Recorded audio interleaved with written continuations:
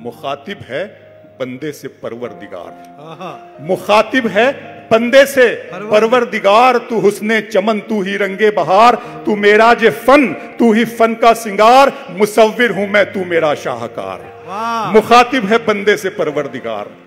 تو میرا جو فن تو ہی فن کا سنگار میں تو مسم میں تیرا شاہکار۔ یہ صبحیں یہ شامیں یہ دن اور رات۔ یہ رنگین دلکش ہنسی کائنات کہ حور و ملائک و جنات میں کیا ہے تجھے اشرف المخلوقات۔ میری عظمتوں کا حوالہ ہے تو تو ہی روشنی ہے اجالا ہے تو۔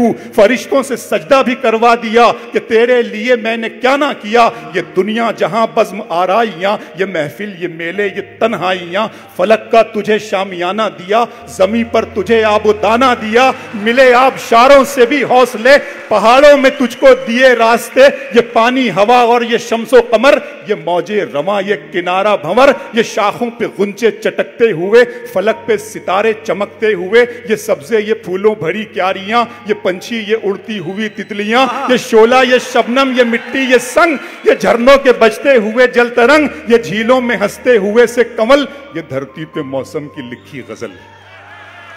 یہ جھیلوں میں ہنستے ہوئے سے کمل، یہ دھرتی پہ موسم کی لکھی غزل، یہ سردی، یہ گرمی، یہ بارش، یہ دھوپ، یہ چہرہ، یہ قد اور یہ رنگ و روپ درندوں چرندوں پہ قابو دیا، تجھے بھائی دے کر کے بازو دیا، بہن دی تجھے اور شریک سفر، یہ رشتے، یہ ناتے گھرانہ، یہ گھر، کہ اولاد بھی دی، دیے والدین، الف لام میم، قاف اور عین، غین، یہ عقل و ذہانت شعور و نظر، یہ بستی، یہ صحرا، یہ خشکی، یہ تر، اور اس پر کتاب ہدایت بھی دی، نبی بھی، اتارے شریعت بھی دی، غرض کے سبھی کچھ ہے تیرے لیے بتا کیا کیا تو نے میرے لیے؟ ہاں!